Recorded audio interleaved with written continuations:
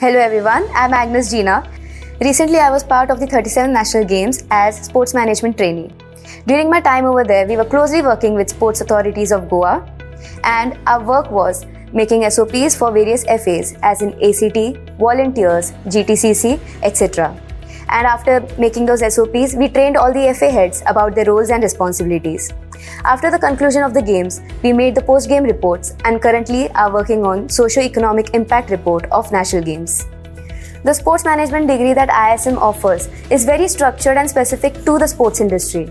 So if you would have asked me 3 years ago what I would have done in the sport sports industry, I would have had no clue about it.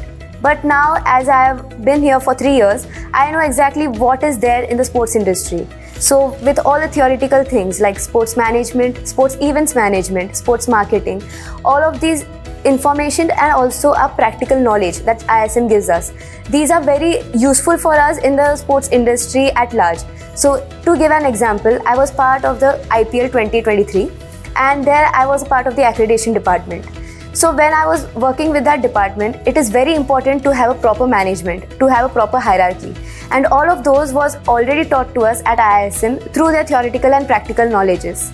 And this is very helpful in the sports industry going ahead. During my time at IISM, I've gotten many live exposures, starting from Chess Olympiad where I was just a volunteer. But then my career just skyrocketed. After that, I got the opportunity to be the operations head at Jito Thane Half Marathon where I looked after hospitality and was coordinator for the elite athletes. Then, after that, in my second year, I was part of the Roots Premier League as production manager and also Yuva Kabaddi series as the social media manager. Then, during my summer internship, I was part of the IPL as the accreditation manager in the Chennai venue. And now, I was a part of 37 National Games Goa as sports, sports management trainee. And now, I'm working with Square the One company as associate athlete manager.